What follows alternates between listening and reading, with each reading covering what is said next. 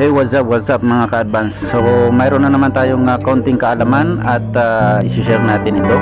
So, maliit lang ito pero kinakailangan para masisave natin yung uh, ating mga gamit.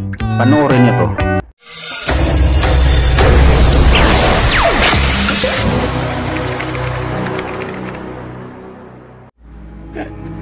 So what's up, what's up mga ka-advance? So mayroon na naman tayong uh, isang uh, uh, kalaman kung paano natin uh, i-repair yung butas na ano ba tawag dyan?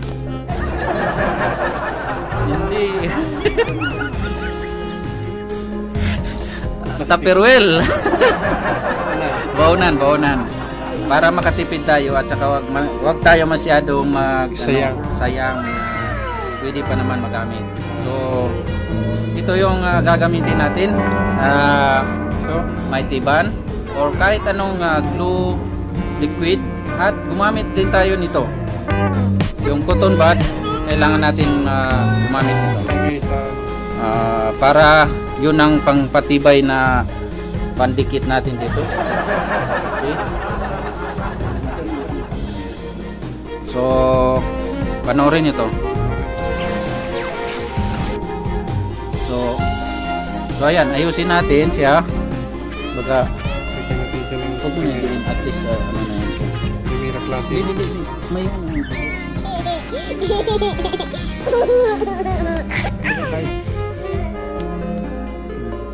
Yan. Okay na. Konti lang, ilagyan mo lang.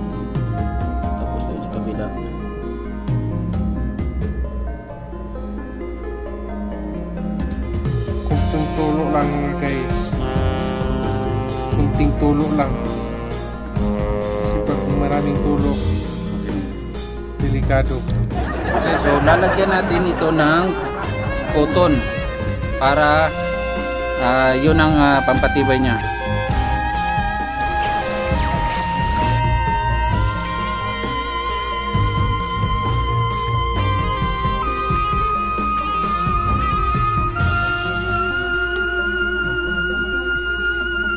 Para matibay yung uh, pandikit.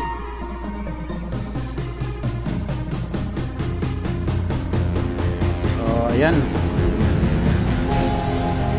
Lagyan na natin ng cotton so ngayon lalagyan na natin ulit ng glue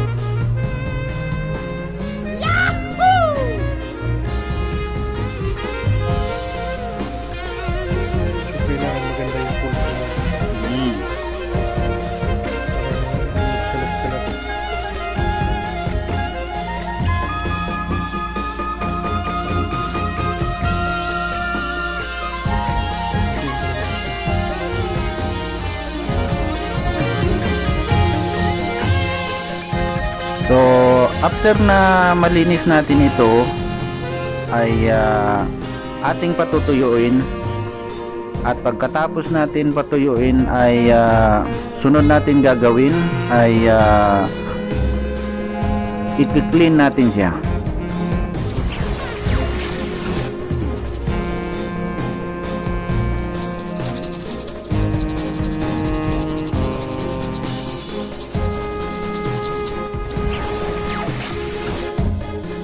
So ito na mga ka-advance at uh, ita-try natin kung uh, lalabas ba ang tubig or tutulo ba yung tubig kapag nilagyan natin ito ng sabaw o whatever na maliquid na ilalagay natin dito.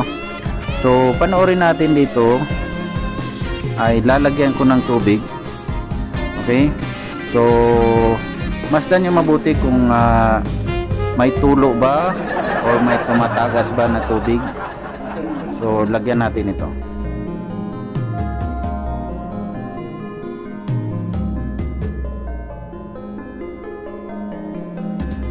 So, ayan. Nakita nyo.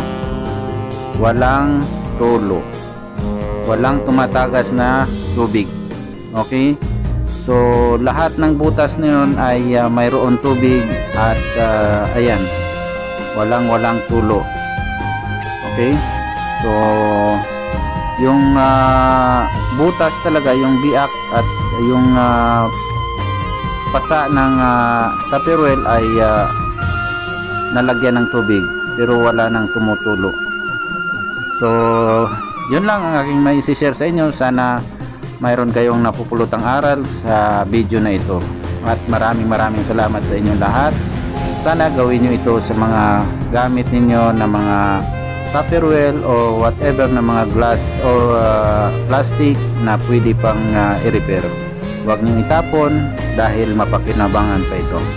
So lalagyan nyo talaga ng uh, cotton at uh, yun ang uh, pandikit nya parang pampatibay. Kasi kung uh, may tiban lang ay uh, pwede pa siya matanggal.